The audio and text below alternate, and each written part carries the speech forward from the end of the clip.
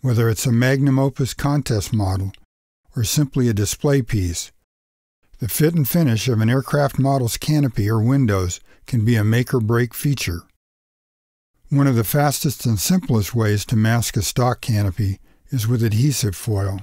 You can make your own by spraying low-tack adhesive onto common household foil, or you can use an adhesive foil like bare metal foil.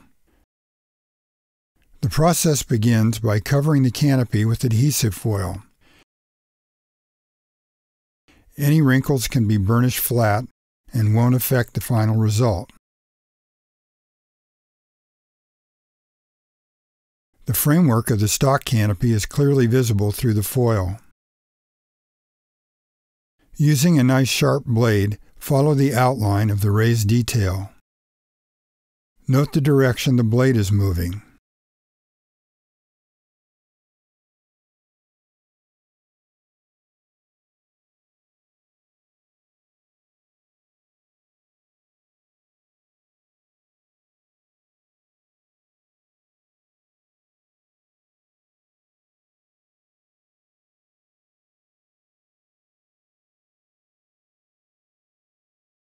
Using a blade with a shallow curve, such as this number 23 blade, allows the blade to cut just behind the tip. As the blade is advanced forward, it's very easy to sight down the blade. The blade can be rocked forward to precisely stop the cut at a specific junction. Obviously, using a straight edge blade like this will be impossible on any flat surface. Scalpel blades like this are hard to handle because if you want to use the tip, the handle will have to be raised to such an angle as to make it difficult to control. Likewise, if the handle is held at a comfortable angle, the portion of the blade that cuts is so far away from the tip it's difficult to see. Once the cuts around the panels have been done, then the foil that covers the canopy frame can be removed. A toothpick or a sharpened stick is very handy for this task.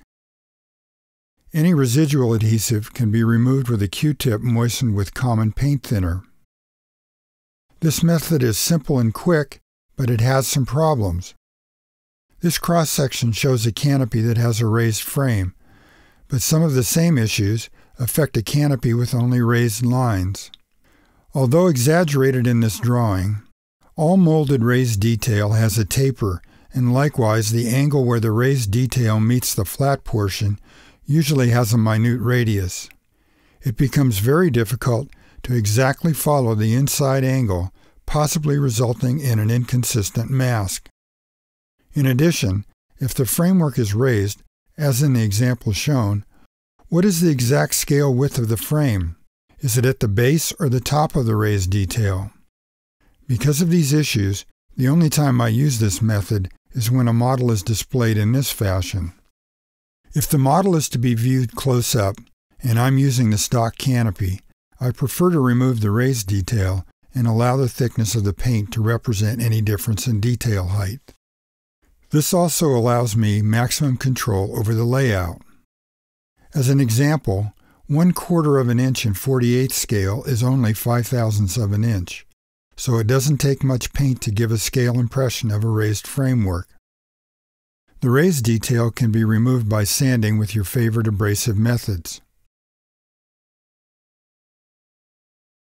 I like to use sandpaper on a wood block against any panels that I want to keep flat.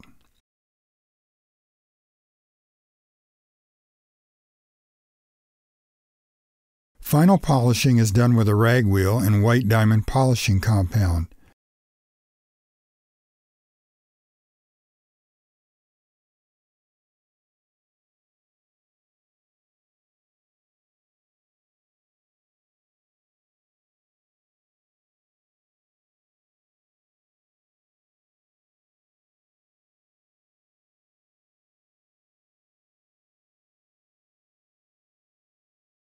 I much prefer the look of a polished acrylic canopy over a canopy coated with Future floor wax.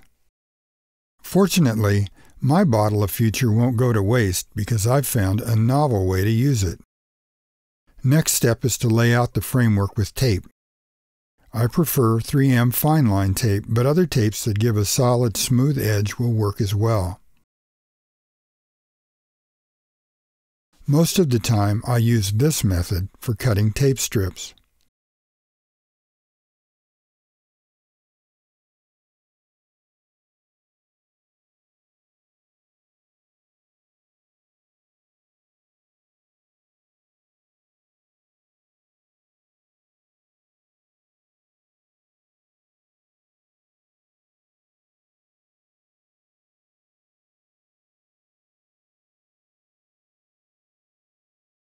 The strips are then applied to the canopy.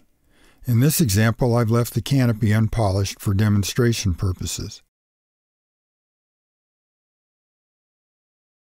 Once the strips are correctly positioned, the canopy is covered with adhesive foil.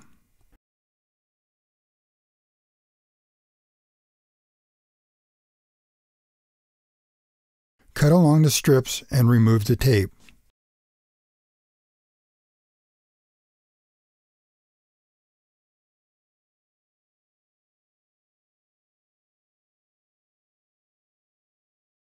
The tape strips can also be cut using a strip cutter. The commercial strip cutters that I've seen don't offer the precision that I find necessary for model construction, so I fabricated my own from a piece of brass rod and a couple of modified blades.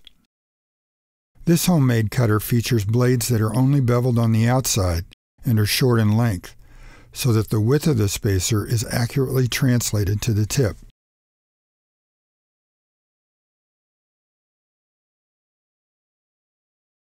Just like a well-done undercarriage and set of wheels can go a long way to lending reality to a model, hiding the joint between the clear and solid plastic pieces can also work wonders to an overall realistic look.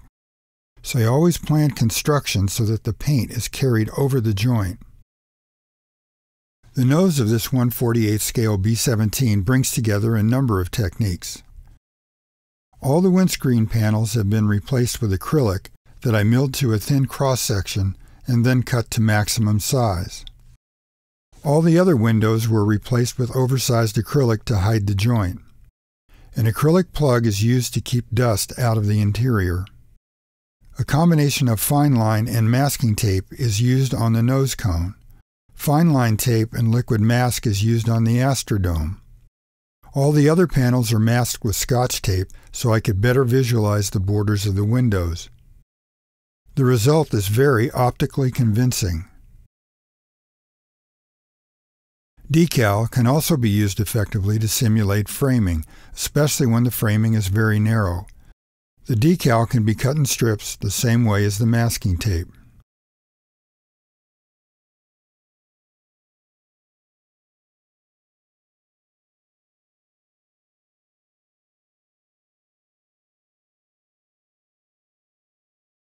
Solid aluminum decal was used on this 148 scale B-24 and this 72nd Boeing 314.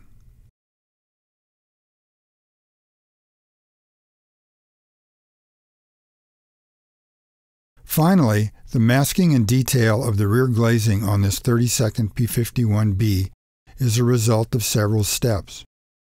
A stencil was cut for the mask of the oversized acrylic panel and then another stencil was cut for the panel outline that was scribed into the paint.